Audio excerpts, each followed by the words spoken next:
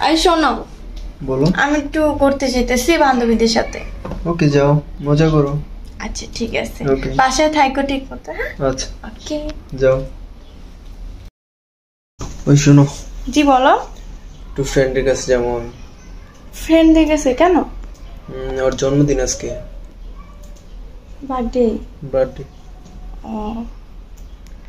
কোনো মেয়ে আসবে না তো? আমি শিওর বলতে পারি না মেয়ে আসব কিনা। আমাকে ইনভাইট করল তাই আমি যাইতেছি। কে কে থাকবে? তাও তো আমি বলতে পারি না। ওর ফ্রেন্ড সার্কেলে যারা যারা আছে তারা থাকবে ওর ফ্যামিলি মেম্বার থাকবে আমি যাব। যাই দিলে। আচ্ছা? কখন আসবে?